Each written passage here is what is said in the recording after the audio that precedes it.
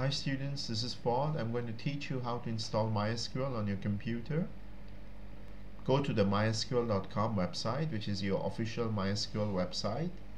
Uh, go to the downloads link, scroll down and go to MySQL community downloads.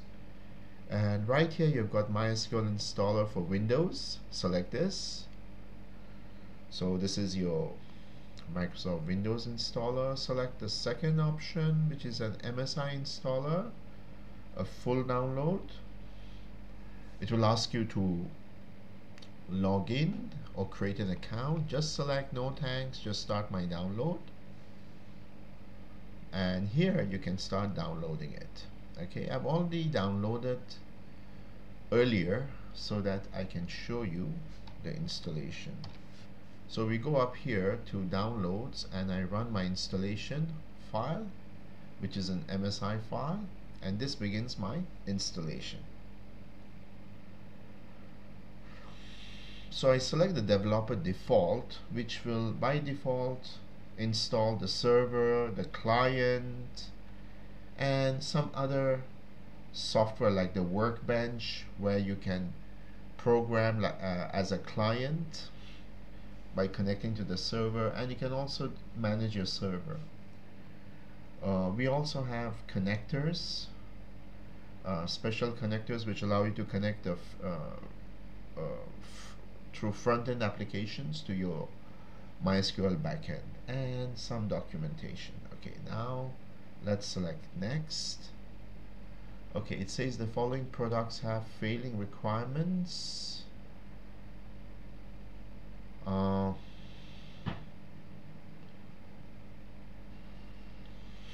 well, these are not important installations. Excel, MySQL for Excel and for Visual Studio, so we can ignore them for now. We can check them later. Just select yes, and uh, here is your server, workbench, all the other components. Just select execute, so it starts uh, downloading it and installing it.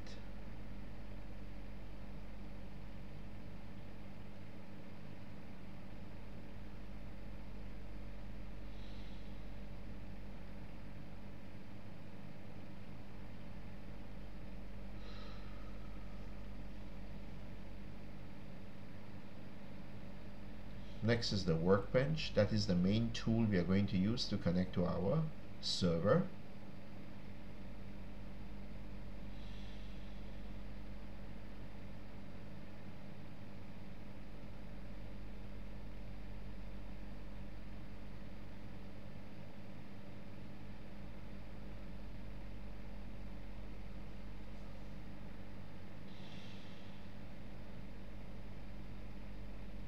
The speed of this would depend on the speed of your computer.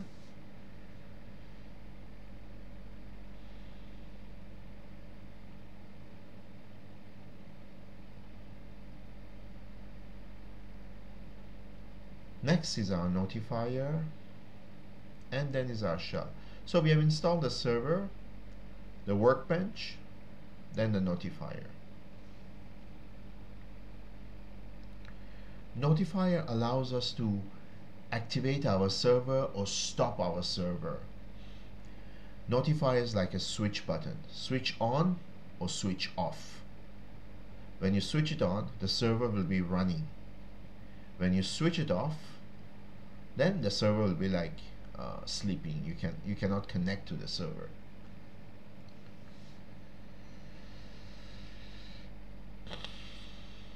Actually the rest of these installations that we have over here uh, they are not as necessary as the first three.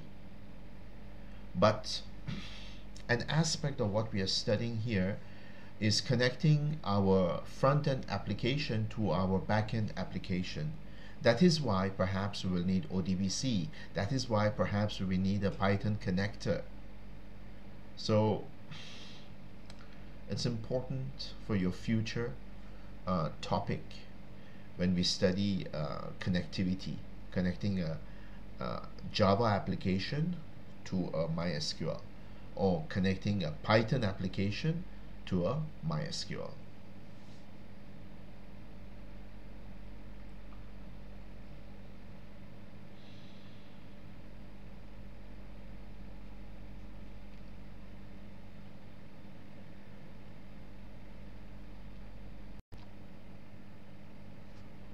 Okay as you can see we have finished installing everything. So we select next. Now we'll go to the configuration of our server. So it asks for uh, whether you want it to be a database cluster or a standalone MySQL server. Just select a standalone MySQL server. Select next okay. Configuration type a development computer the port number TCP IP okay. Uh, open Windows firewall ports for network access. So leave these as default. Remember that your your server and your client is on the same machine okay? Uh, so just leave it as default and select next um, this is a new feature. Use strong password encryption for authentication. Recommended just leave it as default. Uh, next. Now here it asks you for a MySQL root password. Now this is very important. I give a simple password like 1234 repeat. 1234 it's not a strong password but then I'm not going to have a sensitive database or neither will you. We are just installing this so we learn MySQL. Perhaps for future use, you can create a strong password. If you want to add uh, new accounts to your MySQL, this is the place where you can do it. Okay, so the root password is given. Remember 1234, 1234 is my root password. Then I go to next. Uh, so configure MySQL Server as a Windows service. And that service is MySQL80. So this is an important aspect. The server will run on your computer as a Windows service and this is the service name. It says start the MySQL server at system startup. The problem is every time you switch on your computer it will start this and will feed on your memory. Personally I won't select it. I don't want it to start at startup. Only when I want to run it. And I'll tell you how to run it okay? And run the Windows system as a standard system account or associated with another customer user. Just leave the default standard system account. Another custom user okay? Uh, for this we can select an existing account but just leave the service to run as a standard system account. Then select next Then you will get the configuration steps done by selecting execute. So it's starting to configure. There, it's running the services and everything is done.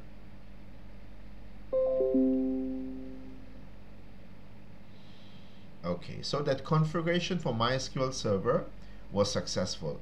Click Finish to continue. So select finish. So MySQL configuration is complete. MySQL router ready to configure. Uh, samples and examples ready to configure. Well, you may not need to do that now, but let's proceed. MySQL router configuration. Uh, you don't need to do that. Uh, we are not going to use this, uh, at least not in this course. Just select finish samples and examples. Next. Uh,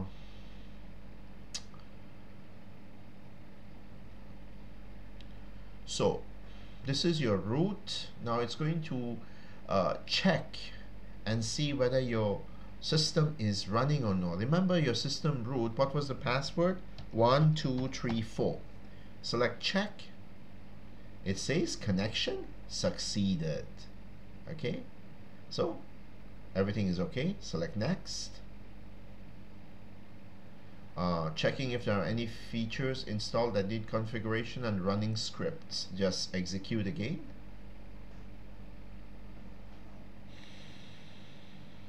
Okay, the installation was successful. Click Finish. And uh, click Next. Start MySQL Workbench after setup and start MySQL shell after setup. We don't need to start the shell. Click finish.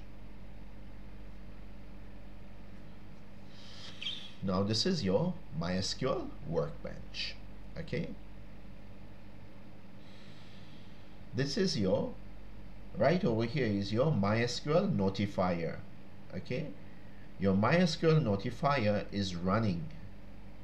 That means you can connect to your server by using MySQL Workbench. I'm going to close MySQL Workbench and open MySQL Workbench again. Okay if I go down here scroll down to MySQL here is MySQL workbench okay I can just pin it to my start here here is MySQL workbench I select it this opens my SQL workbench now I want to connect to my server which is a local instance MySQL remember we gave this ID MySQL80 we select it it will ask us for a root password. Remember the root password I gave was 1, 2, 3, 4. And then click OK. So this connects me to my server. Okay, remember if I want to check whether my server is running, I go to my SQL notifier. Okay, so let's just go again to MySQL over here uh, go to MySQL, notifier, and create a shortcut. So this is MySQL notifier. Now, here is where we are going to run our commands. Okay, so these are my schemas, and if I click on administration, it will show my server status. Okay, so these are the details of my server status and it says my server is running on. Now I go my go to my schemas. Okay? And here is where I can do my queries so already you can see I've got a series of databases here for example I can create a database create database for comma okay I can select this and run it. When I run it, you can see the output window, it says the database forward is created. But wait a minute, I don't see it here. You have to refresh. Once you refresh, you will see forward. Now, once you create the database, doesn't mean that the database is activated. Okay? You have to activate your database. How do you activate your database? You say use forward. Okay, so now I select it and run it. So now forward is activated. Okay. So this is how your client is accessing a server.